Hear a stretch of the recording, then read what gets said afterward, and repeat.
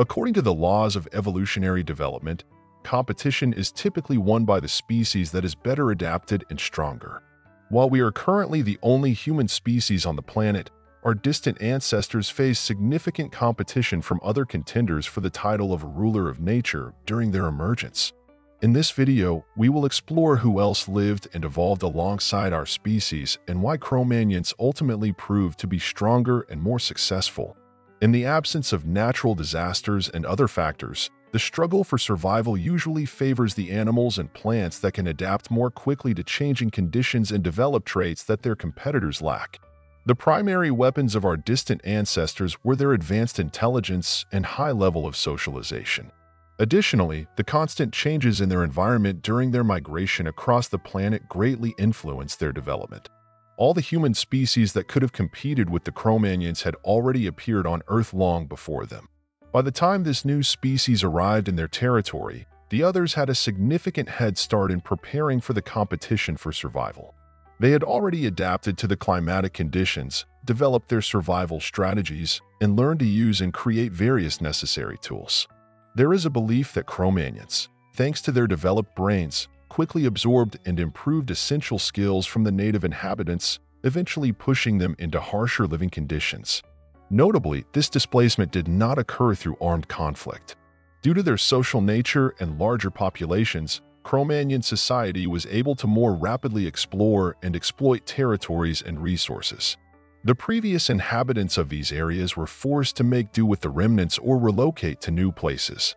Throughout different periods and in various corners of the globe, alongside Homo sapiens, there existed between five and eight other human species.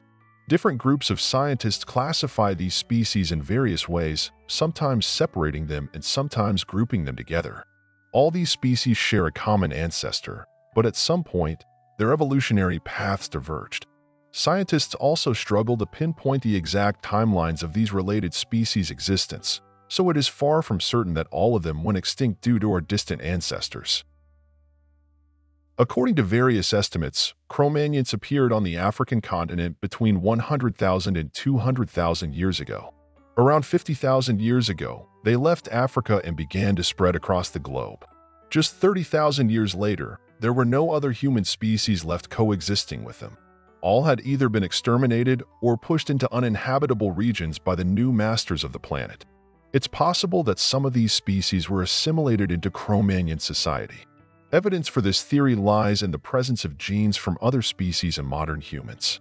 However, some scientists argue that these genes were inherited from common ancestors and that different human species could not interbreed.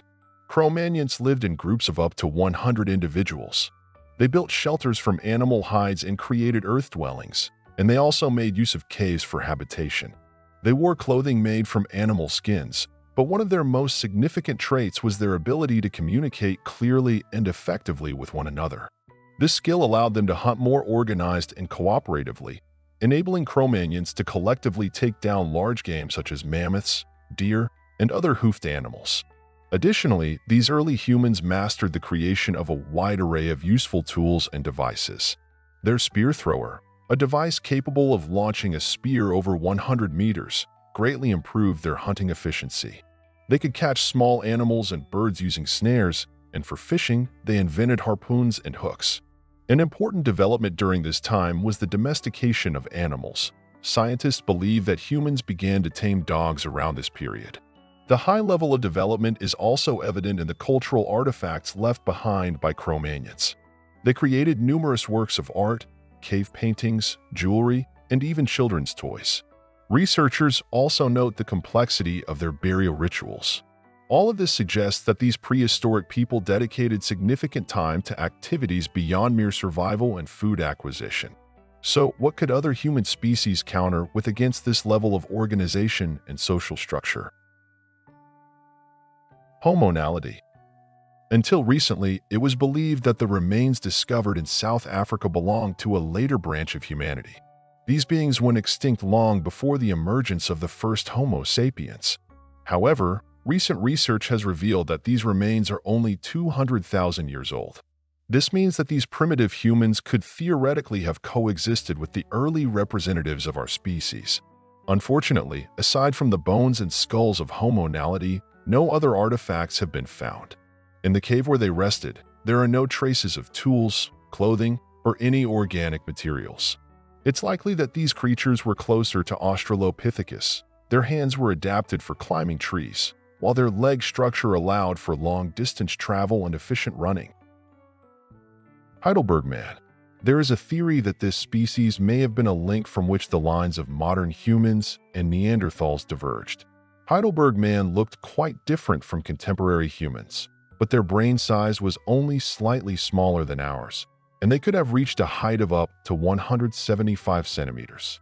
Distinctive features of these people included massive brow ridges, the absence of a chin, a thick-walled skull, and a low forehead. Their dental arch was almost indistinguishable from ours. According to various sources, this species originated in Africa around 500,000 years ago and later spread throughout Eurasia. It is believed that the African and European branches of Heidelberg man were isolated from each other for a long time and evolved independently. The most recent remains of this species date back to about 130,000 years ago, suggesting that they may have interacted with our ancestors during the early stages of their existence. Despite their appearance, Heidelberg man was quite intelligent. Members of this species undoubtedly knew how to use fire and create primitive tools, there are indications that they were the first to use stone tips and possibly practiced caring for their elderly and infirm kin. They lived in groups of several dozen individuals and hunted large game of their time cooperatively. Flores Man and Java Man During the migration of prehistoric human ancestors, some groups of various hominins found themselves isolated on islands. A prominent example of such a population is the inhabitants of the island of Java, who lived there around 100,000 years ago. Over time, they developed unique traits that distinguished them as a separate species. However, like all isolated populations, Java man was doomed to slow decline and eventual extinction. Likely, in an environment with abundant food and a lack of threats, they were unable to fend off new predators or competitors that appeared on the island. A similar fate befell the inhabitants of Flores Island.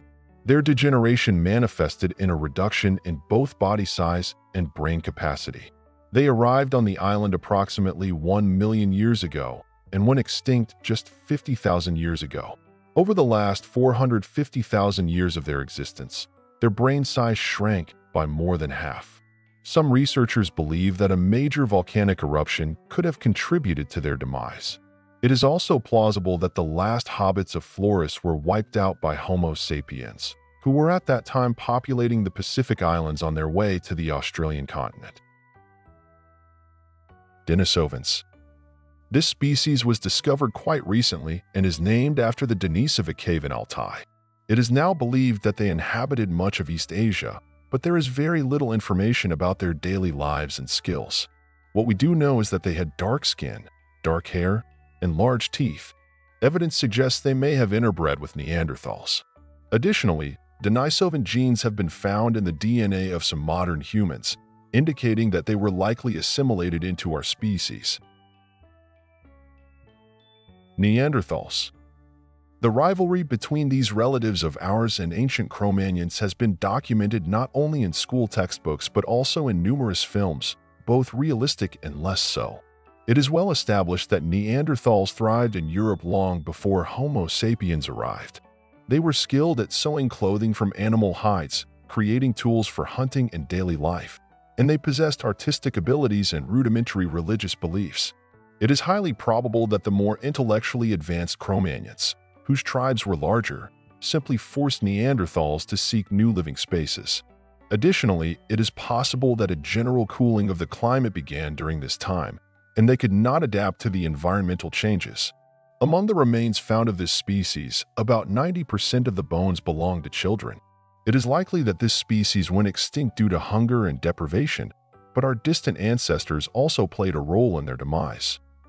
We thank our viewers for watching the video to the end. If you're interested in how life progressed afterward, you can learn more in other videos on our channel.